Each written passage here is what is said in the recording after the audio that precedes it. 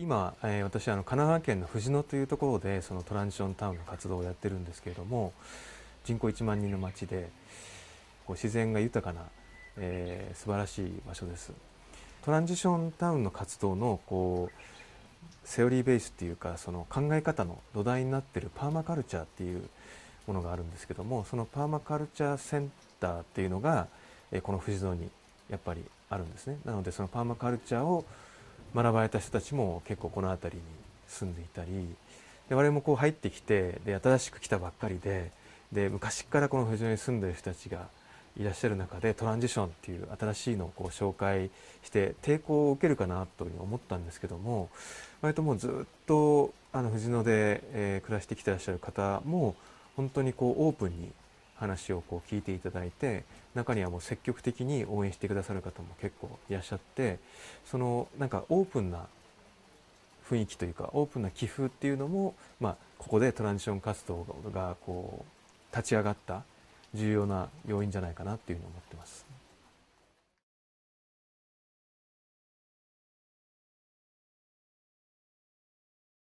今そのワーキンググループっていうのをこう作ってこう細かく言っていくともう10以上あるんですけども代表的なもので言うとその地域通貨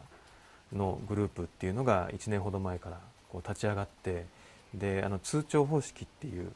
あのその地域通貨の方式があるんですけどもそれをやって今加入してる人たちが100世帯以上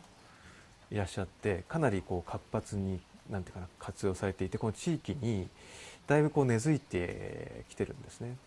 でなぜそのトランジションが地域通貨をやるかっていうのはそのトランジションの場合っていうのは、まああのこう地域の中でつながりを作っていくっていう地域の中にいろんな資源があってその資源すでにある資源の間のこう有機的なつながりを作っていくっていうのが、まあ、トランジションの考え方なので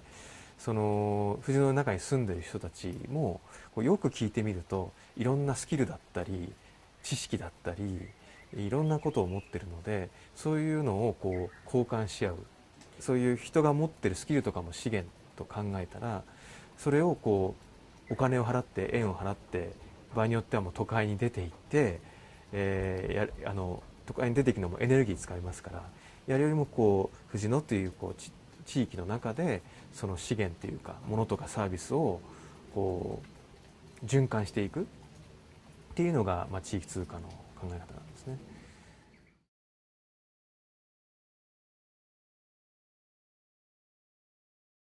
3.11以降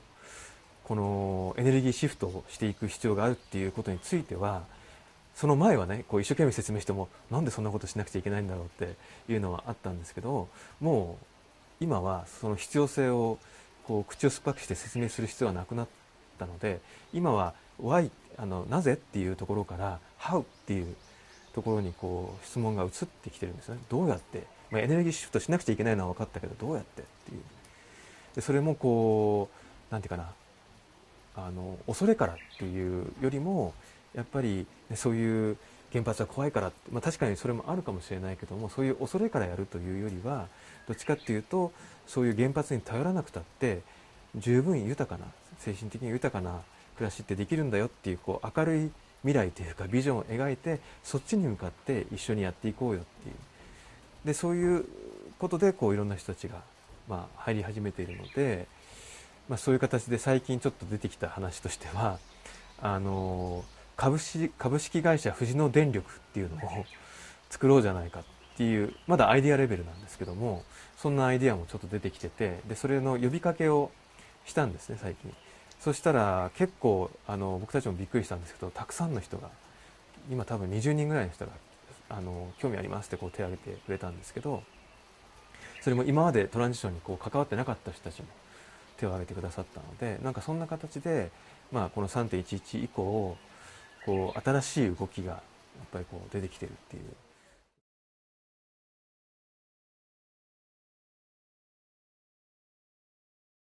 レジリエンスという言葉があるんですけどもそのトランジションでよく使われる言葉なんですけどもその変化に対して強い、まあ、しなやかな強さとか私たちは底力とかって呼んでますけどもそのまずその地域が地域のレジリエンスを高めるためにはこう人同士がつながってないと今回のその原発の事故においてもその、ね、自分一人で何とかするっていうのはやっぱりどこに行けばどういうサービスが受けられるのか今どこに行ったらその石油っていうかガソリンが手に入るのかとかあのどこの道が動いていくとかっていうそういう情報ってその必ずしも行政から流れてくるっていうのはこう人の口コミで流れてくるのでやっぱりその大きな変化があった時にそれにこうそれでパタって倒れちゃうんじゃなくてそれに対してあのしぶとくというか倒れるんでもなくこうそれをこう乗り越えていく力底力っていうのは一つはその地域の人同士の絆とか信頼関係とか誰がどんなことができるっていうのを知ってるっていうことがすごく重要なんじゃないかなっていうふうに思ってます。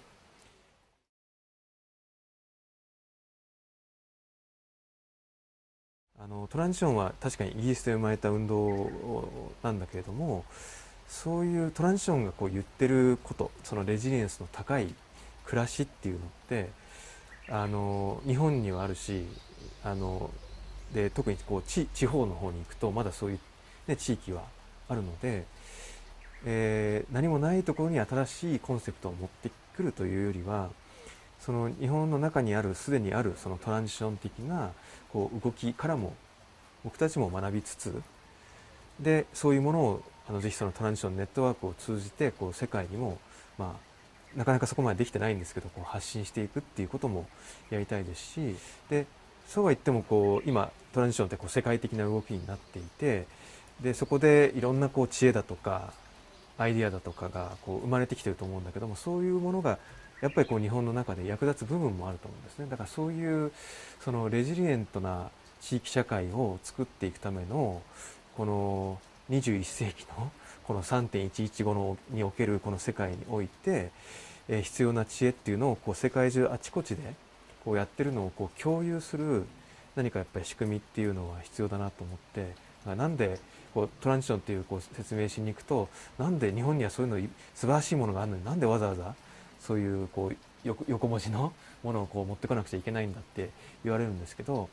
こう確かにこう日本には素晴らしいものがあるんだけどもなかなかそれがこう他の人たちが使える形で、えー、言語化されてない部分もあって。で何て言うかなこう今は本当にね、えー、気候変動もあるピークオイルもある原発の問題もあるなるべく早くそういうシフトをしなくちゃいけないっていう中でそのなんていうかなそういう世界中の人たちがそれに取り組んでいる知恵がやっぱりこう共有される必要があるので今回のその日本大大震災においてもその東北にある知恵が、まあ、世界に共有されることもあれば世界で共有されている、ね、知恵が東北の役に立つっていうことも実際にあると思います。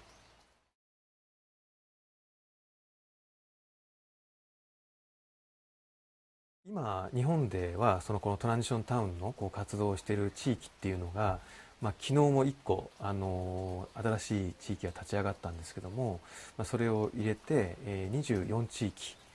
に広がってきています。えー、北は、えーと、福島県のその裏磐梯で南は熊本県の南阿蘇、えーまあ、関東が割と多いんですけども比較的ばらけて、まあ、24箇所立ち上がってきてます。でじゃあどうしたらこのトランジションタウンの活動を始められるんだろうっていう、まあ、問い合わせというか質問を受けるんですけども私たちがよく言ってるのは3人いれば同じ地域の中でこういうことに関心があるやってみたいと思ってる人たちが3人いると何かが起こって立ち上がっていくでそのエネルギーになんとなく引き寄せられてまた多くの人たちが関わってくるっていうとにかく興味があるんだったらもう3人でいいので見つけてあの始めるということをやっていただけたらなと思ってます。